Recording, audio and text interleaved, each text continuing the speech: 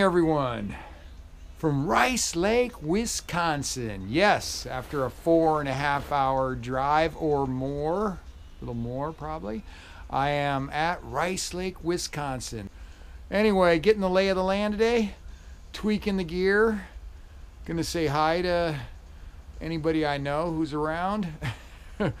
Maybe just myself in the mirror, I'm not sure.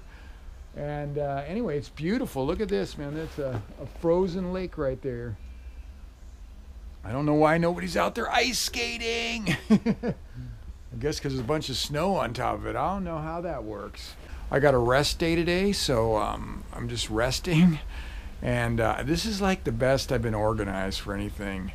Temperatures are looking good. I think I saw like a low on the three days we're doing of like minus 13 and a and a and a high of like one or two. It's just that's that's in the money, man. That's that's where it's not too soft and not too freezing cold. if it's too warm, the snow gets really soft and slushy. And if it's too cold, freaking it's freezing, man. You just got to be you got to be on guard if it's you know minus 40. That's kind of kill you cold. a pretty uh, uneventful day. I had no workout today. I shouldn't say uneventful though. I did I did talk to one of my friends for a while on strategy and stuff and uh, you know just food and and clothing and uh, and yeah, it was great. It's great. You know, I got several really really experienced friends in the cold and uh, just double checking things with them. Not much that I was going to change, but just double checking. Uh, make sure it all sounded good to him.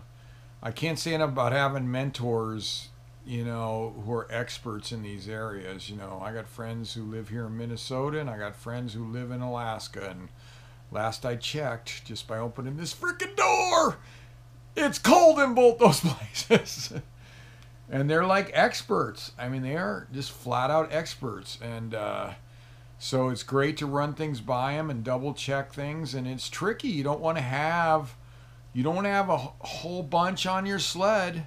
Like I said, the saying was, uh, you get out there and you're packing your sled, and you go, hey if I don't have this, I could die. If I don't have this, I could die. If I don't have this, I could die. And pretty soon you got a 50 pound sled. That's not even funny. It really has happened to me before.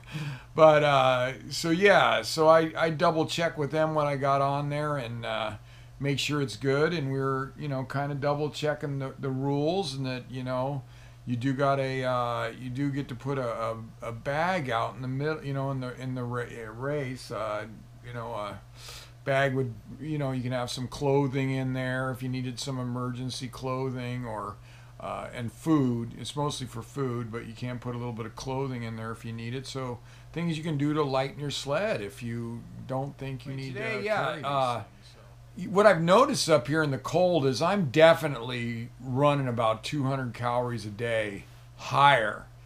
Uh, you know, just like what it takes to just to to be up here because it's so cold. You know, and I think your body, my body just burns cold, more calories. It has been cold ever for the last week. It's been uh, like below. I think it's like uh, it was minus, uh, 15 this morning or something like that. So it's and with the wind chill, they kept saying on the radio, minus 30.